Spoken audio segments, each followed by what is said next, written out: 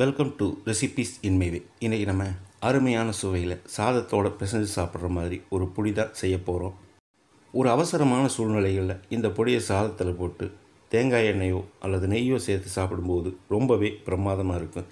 இது எப்படி செய்கிறது இதுக்கு தேவையான பொருட்கள் என்ன? பார்க்கலாம் வாங்க.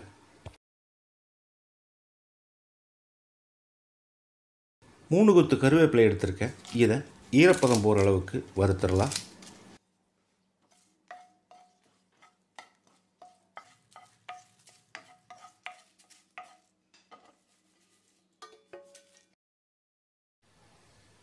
பதினஞ்சு வரமிளகாய் எடுத்திருக்கேன். இதை வறுத்தரலாம். கருகாத அளவுக்கு வறுக்கணும்.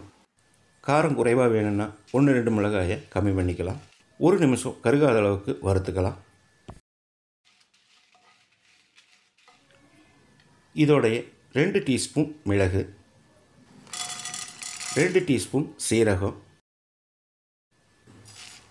ஒரு முப்பது செகண்ட் இதை வறுத்தரலாம்.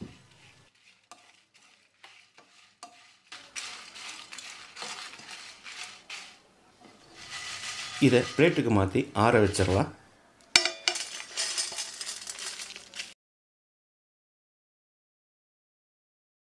ஆறு பல் பூண்டு பூண்டு வாசனை பிடிக்காதவங்க விட்டுறலாம். ஒரு நிமிஷம் இதை வறுத்துக்கலாம்.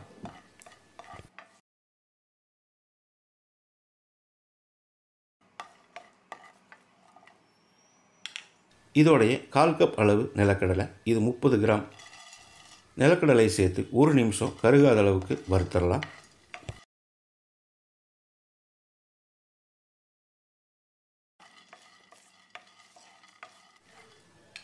இந்த அளவுக்கு போது இதை வேறொரு பிளேட்டில் கொட்டிடலாம்.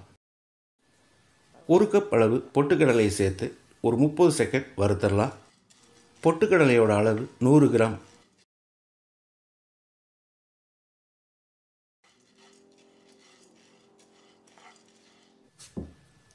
இந்த அளவுக்கு போது. ஏற்கனவே வறுத்து வச்ச பூண்டு நிலக்கடலையோட சேர்த்து கொட்டி வச்சிடலாம். ஒரு டேபிள் ஸ்பூன் கல்லுப்பு. கல்லுப்பை ஒரு முப்பது செகண்ட் வறுத்துக்கலாம். அப்போ தான் அதில் இருக்கிற ஈரப்பதம் போகும்.